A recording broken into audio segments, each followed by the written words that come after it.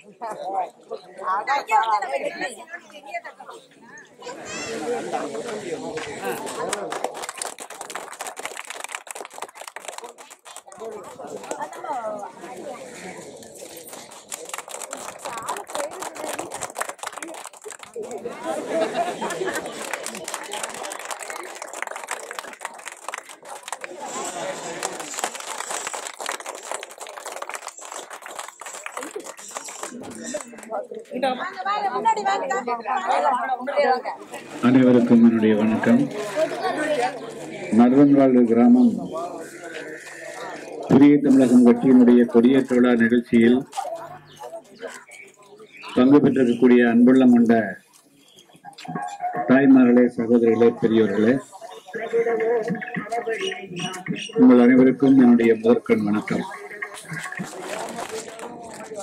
கடந்த இரண்டாயிரத்தி பதினாறாம் ஆண்டு சட்டமன்ற தேர்தலுக்கு பிறகு நம்முடைய பகுதிகளிலே சுற்றுப்பிரயாண நிகழ்ச்சிகளுக்கு இரண்டு முறை ஏற்பாடு செய்யப்பட்டு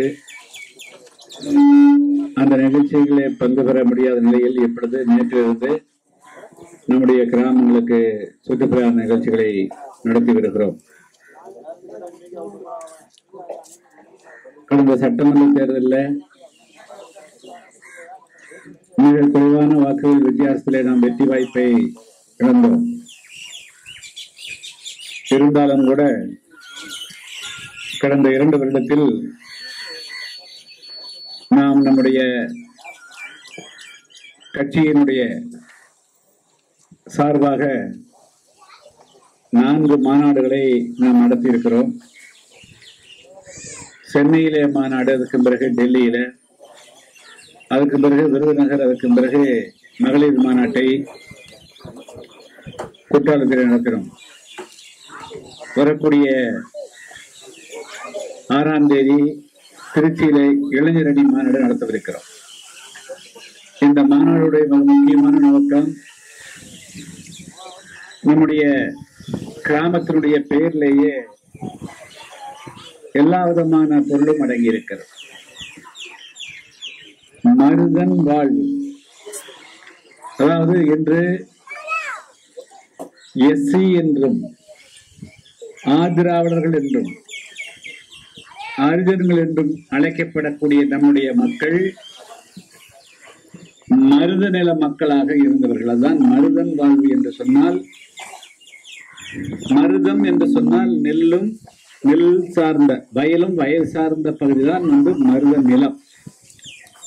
எனவே நம்முடைய கிராமமே வரலாற்றிலே நம்முடைய மக்களுடைய வாழ்நிலையை எடுத்துக்காட்டக்கூடிய பெயரை கொண்டிருக்கிறது. மருதம் என்பது இப்பொழுது வந்து கிடையாது ஐயாயிரம் ஆண்டு காலமாக இந்த இருக்கக்கூடிய பெயர். தொல்காப்பியிலே சொல்லப்பட்ட பெயர் ஆனால் இந்த அளவுக்கு பெருமையும் பேரும் பெற்ற நம்முடைய மக்களை நம்மிடத்திலே இருந்து நிலங்களை பிடுங்கிட்டு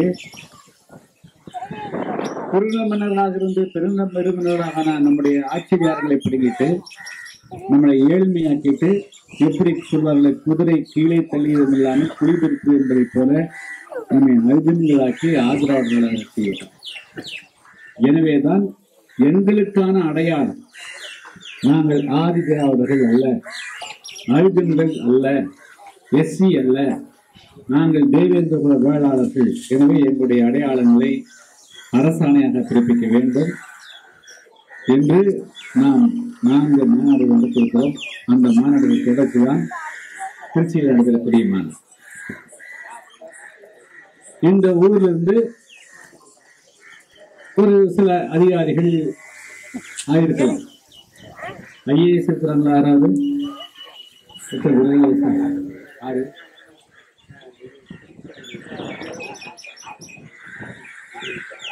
ஒரு ஐபிஎஸ்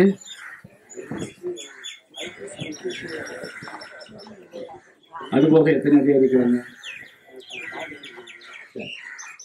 ஒரு சிலர் நாம் வந்து அதிகாரிகளாக போயிருக்கிறாங்க. இது அதுவும் வந்து அவங்களுடைய சொந்த முயற்சி சொந்த உழைப்பு. அதுக்காக இரவர்கள் பாராமல் கஷ்டப்பட்டு யாரும் கூப்பிட்டு ஐஏஎஸ் ஆக்கல. யாரும் கூப்பிட்டு உடனடியா நீ ஐபிஎஸ் ஆயிக்கோ நீ வந்து டாக்டர் ஆயிக்கோ அவர்கள் நன்றாக படித்தார்கள் கஷ்டப்பட்டார்கள். ஒரு திவசம் ஆனா ஒட்டுமொத்தமா ஒரு சமுதாயம் முன்னேற முடியல. இந்த எஸ்சி பட்டியல் இருக்கிறதுனால என்ன ஆகுது அப்படின்னா நம்முடைய மக்களுக்கு மிகப்பெரிய மனிதன் என்பது தானே. திரு மணிவேல்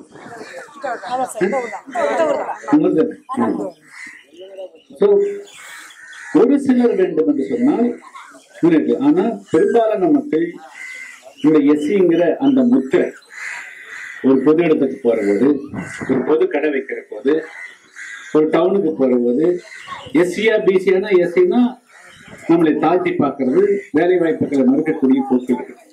ஆனால்தான் நான் வந்து இந்த பட்டியல் வந்து வெளியேறி இதர பட்டியலுக்கு சேர்க்க வேண்டும் என்று நான் வந்து பணிபுரிட்டு வர்றோம் அது வந்துருச்சு அப்படின்னா நம்மளை தாழ்வா பார்க்கக்கூடிய பாறை பார்வை கள்ளர்கள் என்று தாக்கி பார்க்கக்கூடிய பார்வை கீழாக பார்க்கக்கூடிய பார்வைகள் எல்லாம் போயிடும். எனவே அதையெல்லாம் வலியுறுத்தி தான் நாங்கள் வந்து தொடர்ந்து கொண்டு எடுத்து வர்றோம். கிராமத்தை பொறுத்தமட்டிலும் எல்லா காலகட்டங்களிலும் தேவேந்திர கூட்டம் துவங்கப்பட்ட காலத்திலே இருந்து இந்து வரையிலும் தேர்தலும் போராட்டமும் இது புதிய தமிழர் கட்சியுடைய கோட்டையாக இருக்கக்கூடிய கிராமம் நம்முடைய மருமகன் வாழ்ந்த கிராமம் அது என்றும் வேடிக்கை வேண்டும் என்று கேட்டுக்கொண்டு நம்முடைய கிராமத்தினுடைய சார்பாக திருச்சி மாநாட்டுக்கு இளைஞர்களை அனுப்பி வைக்குமாறு அன்புடன் கேட்டுக்கொள்கிறேன். என்னுடைய வணக்கம்.